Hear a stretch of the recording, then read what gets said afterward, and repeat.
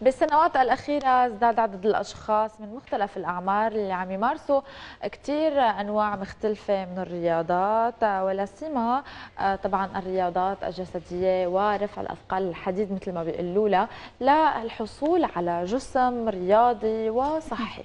أكيد يا زينب لكن بكثير من الأحيان بيتعرض الرياضي لبعض الإصابات وممكن أن تختلف الإصابات من حدتها من الخفيفة إلى القوية الحديث أكثر عن هذا الموضوع معنا المدرب الرياضي غيث عدرا لاعب منتخب الدراجات وبطل سوريا ومدرب دولي باللياقة والمعالجة الفيزيائية وتغذية الرياضيين. يسعد صباحك وأهلا وسهلا فيك. يسعد صباحكم. يسعد صباحك. يعني نحن بس يكون معنا أي كوتش بتلاقي الأسئلة هيك يعني بدنا نسالها أول شيء خلينا نسأل بما إنه عم نحكي عن صحة طبعا الجسم والرياضة نسأل عن الإصابات اللي عم تصير مؤخرا وخاصة إنه في حجر منزلي. ما في كوتش عم عم يلعبوا بالبيت العالم فكتير عم تصير إصابات آه، بسبب يمكن الحركات الخاطئة.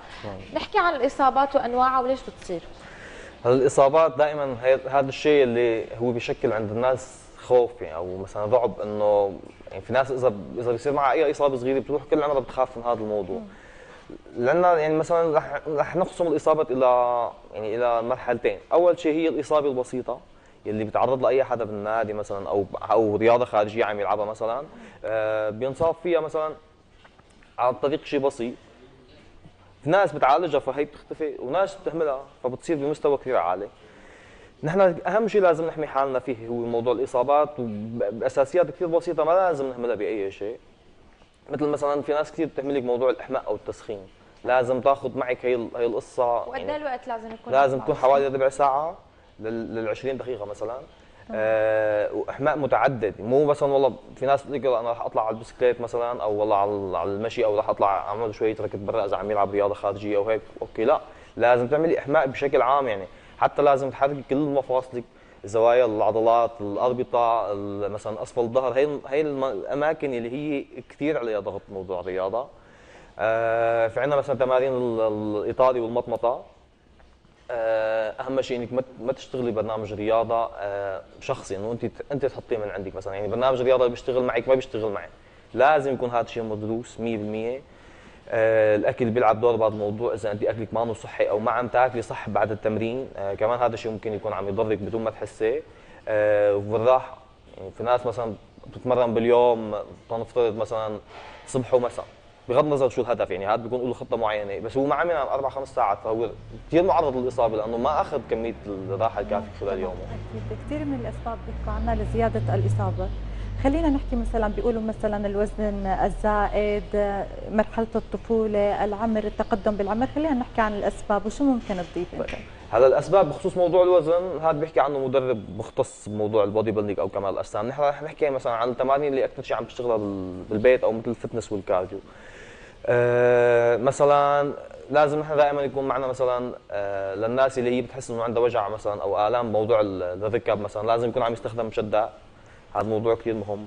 آه، أي تمرين يعني مثلا أنا والله اذا شفت تمرين على النت حدا عم يعمل حركة معينة أنا ما ضروري تزبط معي. أكيد. لأنه هو هيك عم يشتغل أو مثلا هيك شغلة كثير بتصير بيجيك صبية بالنادي أنه coach أنا ليك في هذا التمرين بدي ألعبه. طيب okay أنه هذا التمرين عم تورجيني إياه الصبية اللي عم تلعبه بالفيديو بجوز صار لها 20 سنة عم تلعب رياضة. انت أنت اول امبارح إجيتي. بالموضوع بحاجة تعمل تجربه تمام؟ تمام. وبس يعني مثلا في أشياء كثير مهمة مثلا تمارين إلى زوايا محددة مثلا مثل وقت نلعب squat أو شيء إنه هذا الكوتش لازم يكون مشرف على الموضوع بحيث إنه مثلا أنا ركبي ما لازم يتجاوزوا مشط رجلي إذا واقف في طريق مثلا عم بلعب تمارين فيها مثلا نط مثل فتح ضم أو جري ما لازم أنزل على كعب رجلي لازم أنزل على مشط رجلي. هي هي التفاصيل الصغيرة هي بتستوجب وجود المدرب معي. نعم. أكيد. يعني في كثير ناس بتحب تلعب رياضة لكن مثل ما قلنا في أخطاء شائعة. حتى لما مثلا آه، في ناس آه، مثلا بالحجر استعاضوا عن الرياضة أو الحركات بالمشي. كثير ناس عم تمشي عم تجري وفي منها عم تعضل في ناس عم تعمل غلط. فخلينا نحكي شوي كمان عن التعضيل. تعضيل والتشنجات اللي عم تصير كمان وخاصة في ناس مع أمراض معينة. تمام.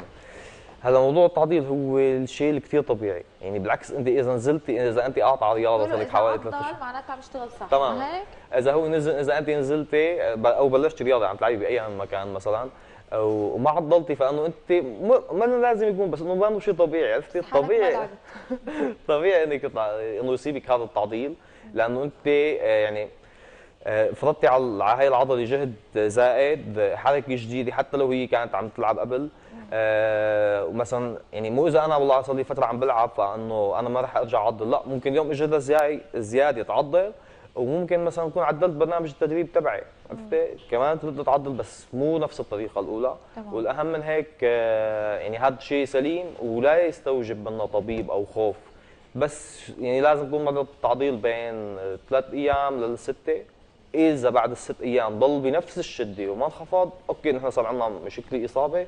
بدنا نشوف شيء طبي بخصها ودائما يعني في في أشياء آه، بخصوص التعضيل وهيك كلام نحكي فيها بموضوع التخفيف والتعضيل وهي الأشياء. بس الموضوع المهم إنه أنت إذا لعبتي اليوم أول يوم ضروري تعضلي اليوم. بجوز تاخذ معك 24 ساعة حتى تبلشي تحسي باقي الأعراض. أكيد. الأشخاص اللي عندهم إصابات مثل ديسك الرقبة ألم الركبة شو ممكن تنصحهم؟ هل ممكن يلعبوا رياضة ولا لا؟ شو ممكن تخبرهم؟ هدول للأسف عم يعني بمحلات كثير عم ينظلموا أنا كمدرب إذا أنا ماني مشتغل دورات بتخص معالجة إصابة الرياضيين أو الإصابات بشكل عام أنا ما بيصير أو ما بحق لي أدرب يعني بكون عم بظلم لهذا الشخص اللي معي. إن كان مثلا إصابات الركبة هي أكثر تواجدا أو الديسكات اللي هي الاكثر شهرة مثلا. كل إنسان من هدول بحسب إصابته له شيء معين يعني ممكن أنا يكون معي مثلا إصابة بالركبة وحدا ثاني معه إصابة بالركبة بس إصابتي بتختلف عنه. هذا لازم يكون تحت إشراف طبي والمدرب اللي عم يشتغل معه لازم يكون معه شيء طبي يفهم التقرير الطبي اللي إجاه حتى يعرف يمشي معه. بالعكس هذا يعني آه، الرياضة هي الحل الأول. يعني الدكتور أول شيء بينصحوا فيه إنه يروح يشتغل رياضة. فما لازم يهمل هذا الموضوع ابدا. وهي من الأساسيات أكيد يعني. نعم. يعني كوتش كمان في كثير من الأسئلة بدنا نسألك إياها بما إنه حكينا هلأ عن الأساسيات آه، يمكن خلينا نحكي عن الأخطاء الشائعة لبعض آه، اللي عم يتبعوا نظام رياضي غذائي وأيضا زائد الرياضة. نحن بنعرف إنه دائما ما في رياضة بدون غذاء صحيح؟ صح. بيقولوا 70% غذاء و30% رياضة. طب خلينا نحكي شوي.